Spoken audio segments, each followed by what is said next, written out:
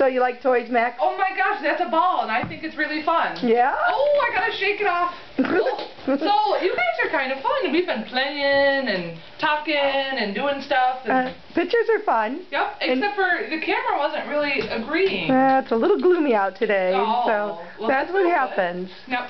So, so this is fun. What is this? That's a duck. What do you do with a duck? You go duck hunting. You go duck hunting. Oh, Yeah. it makes noises. Weird thing. Do you like Put it? it down. I don't know. It's waving to me. Oh, oh, I didn't like it at all. I threw it off. I said, get away from me, duck. Oh, that was funny, huh? yes, it was funny. It was very cute. So, you think you'll find me a home? Uh, yeah, I think so. Oh, I think so too. I think I'm a nice beagle. I think you need toys. Here's my butt. Well, it's good to show all Yep. aspects. Oh, oh, you said that word. oh, as- aspect. Oh. oh. Well, I think my home's calling. well, good. Well, we better go answer the phone then. Okay, bye. Okay, bye.